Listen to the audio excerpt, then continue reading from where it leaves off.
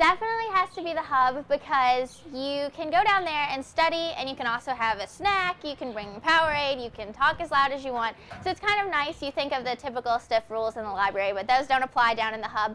And you can go down there, use the dry erase boards, and it's a really good place to do your group projects and things like that.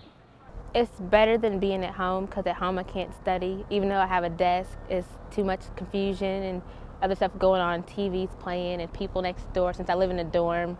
So it's quiet in the library and nobody's on the phone. It's great.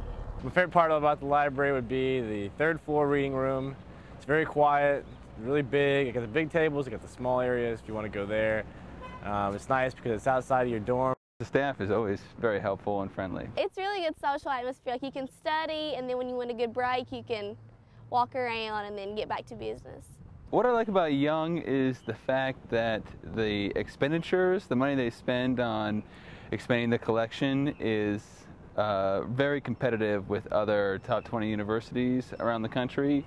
And um, as a graduate student, that is very much appreciated because when there is an obscure publication you need at the last minute. Um, most times I can come here and it's here. I don't have to wait for any kind of interlibrary loan or anything like that. I'm a tour guide on campus, and so I take uh, hundreds of families around touring UK. And one of my favorite stops to take them to is the University of Kentucky Library. Uh, the families get so excited when we walk in, and they, they always look up at the skylighted library and are amazed at how beautiful the library is. When they first walk in, they're all, they just go, wow. because it's really vast and it's really impressive when you first walk in. It's really pretty. They hear the statistics about the library and they're amazed at how effective it is and how functional our library is. And so I think it's a major selling point about UK. And so I take a lot of pride in being able uh, to take them through the library and be proud of our library. And um, people really like to see it when they come through campus. One of the biggest reasons I chose to come to UK because nobody else in the whole world has a library like the Young Library.